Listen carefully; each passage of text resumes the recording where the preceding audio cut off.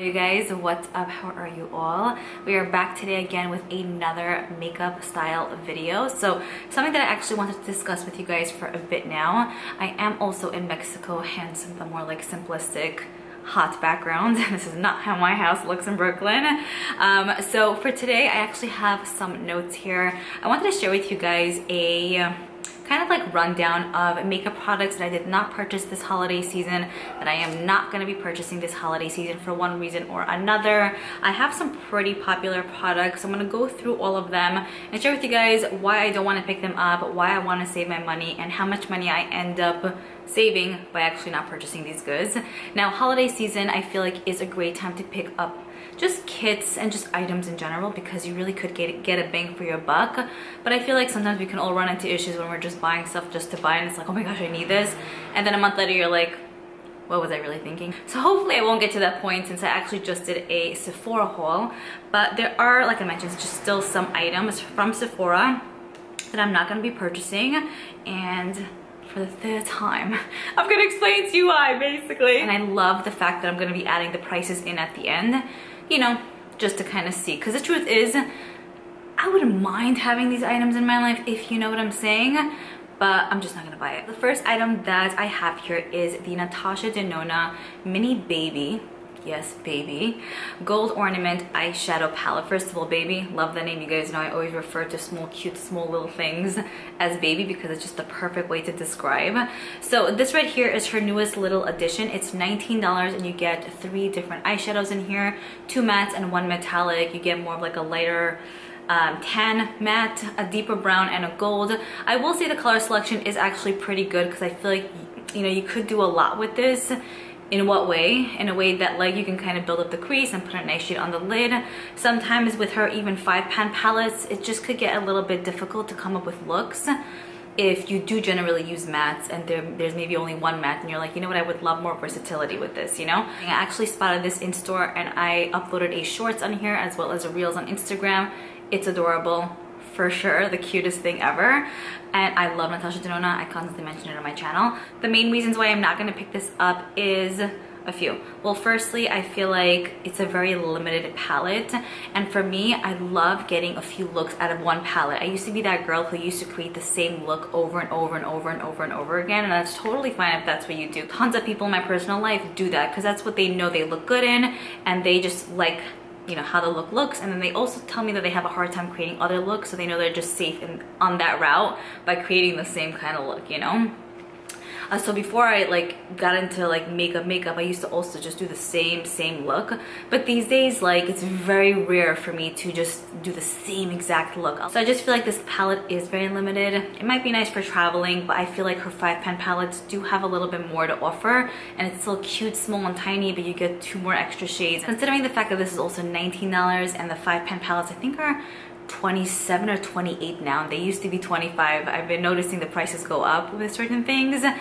You know, if there's a color story that you like, I feel like it is a bit more worth it, you know? I'm gonna go ahead and skip out on this little one, but let me know if you guys are gonna be picking this up for yourself. You know, on Instagram, more of you guys told me you're skipping it, so keep me posted. All right, next up I have the Patrick Ta Major Headlines Blush and Highlighter Palette Volume two. This right here retails for $58. I'm not sure if it's going to be limited edition or not, but it's Patrick Ta's blush slash highlighter palette for holiday 2022. I wasn't on here for about two-ish months and during those two months, I actually did not purchase really any makeup. I can't remember even one thing that I did purchase. I mean, I was looking at all the new releases here and there, but I wasn't, I didn't purchase anything.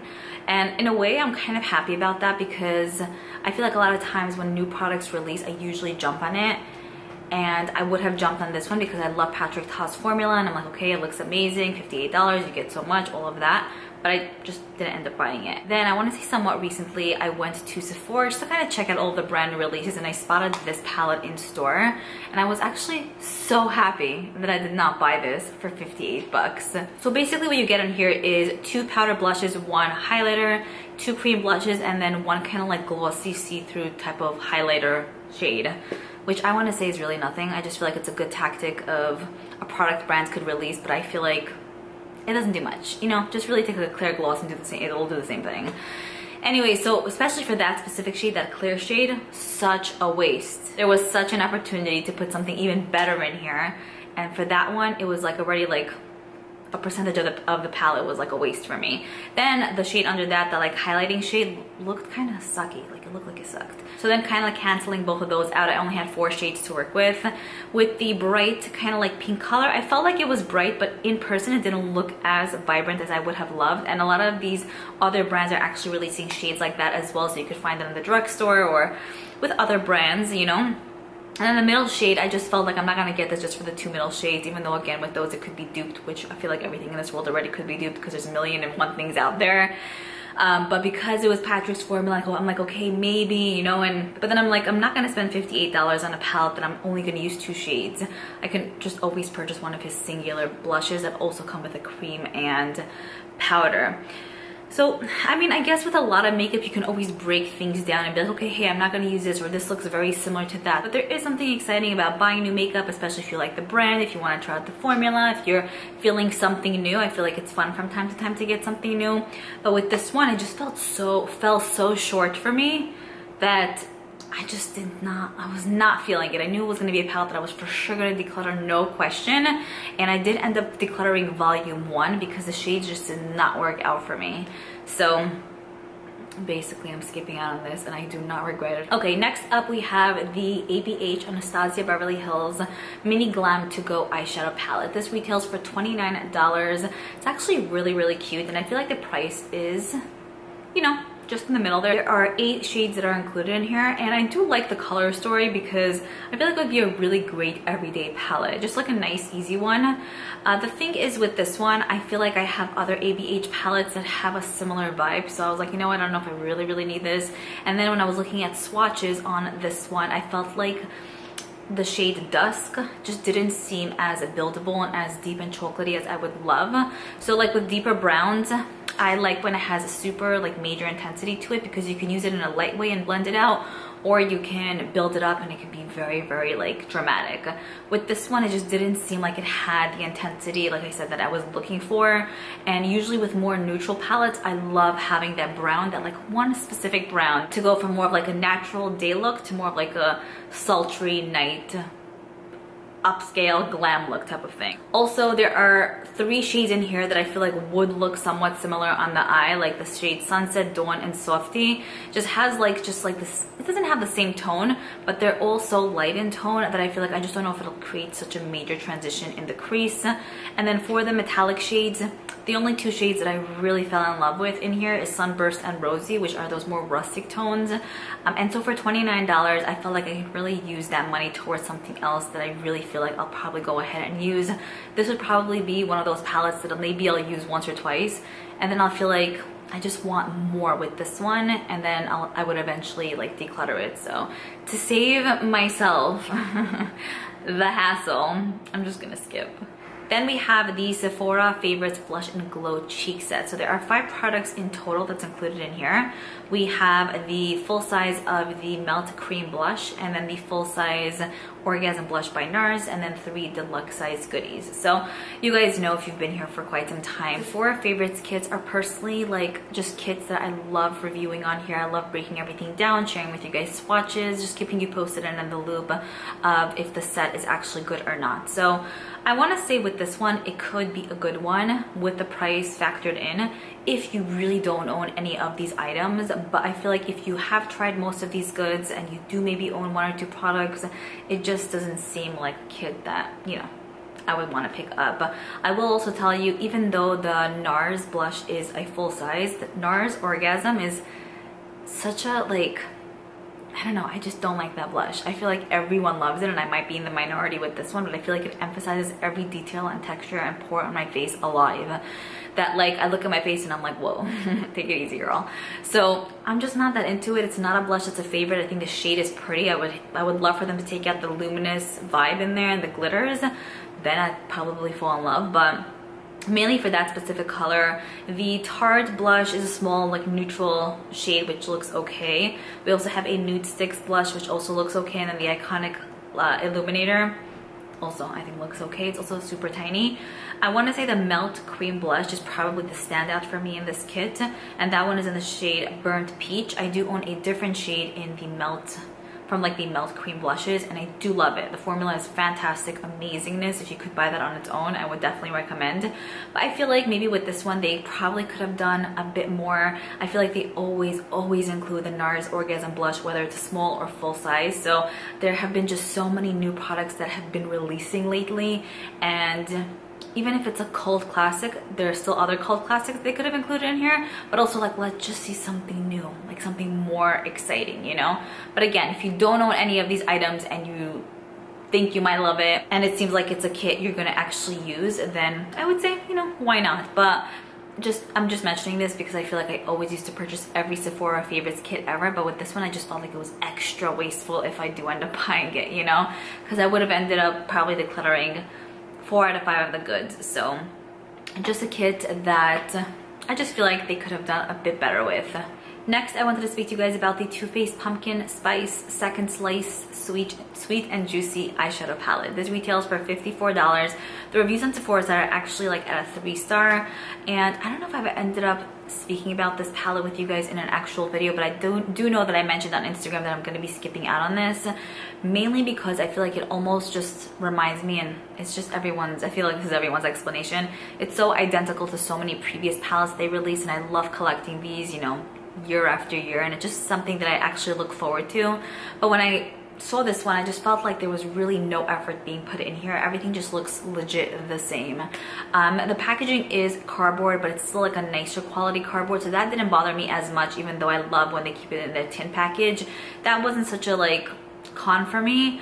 It was more that the color story just looked so like a lot of times color stories look repetitive, let's be real on here. But this one looked overly obvious that it's so repetitive that it was like, it almost felt, it would have felt like I would have purchased two of the same palettes and just own two of the same things, you know? I know that Too Faced has other holiday collections that I personally look forward to. They have a really cute like gummy bear one, a few uh, different kits that include like lip products and just some other ones that look adorable. So those might be on my radar. So maybe a yes for those but for this one it was a complete no.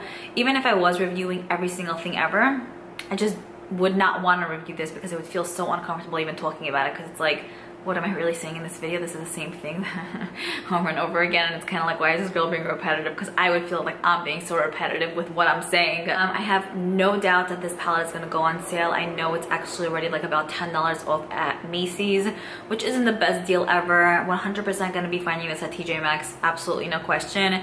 And it should probably pop up at the CCOs, the cosmetics company outlet stores. I want to say the next, probably like I would say within two months. Okay, next we have this palette here by Pat McGrath. This is the Divine Blush Plus Glow Face Palette in Nude Venus. I don't know if there are two different color stories to choose from, but this specific one is a Nude Venus. And I guess I'll be talking about this one just because I only see this pick on Sephora. But if there's another one, then I'm going to be skipping out on that one as well.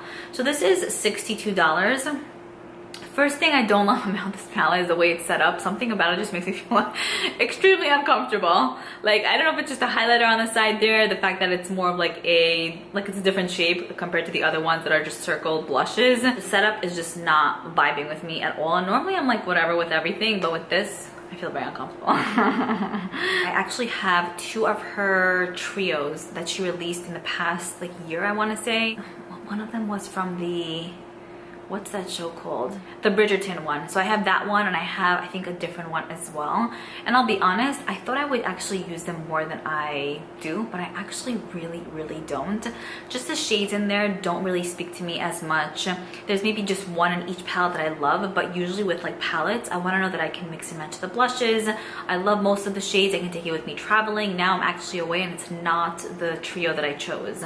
So considering the fact that this palette here has just lighter pinky tones, more of like a mauve shade, a nude shade, and then a, a deeper kind of like, I don't know, slightly like reddish type of shade.